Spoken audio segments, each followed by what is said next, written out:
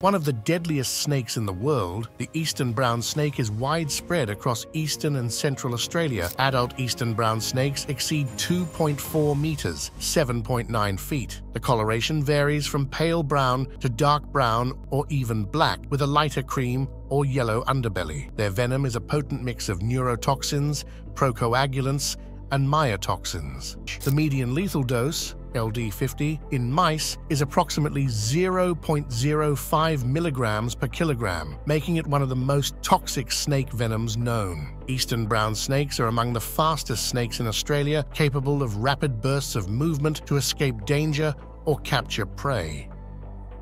In the wild, they can live up to 10 to 15 years. Captive specimens have been known to live longer with proper care.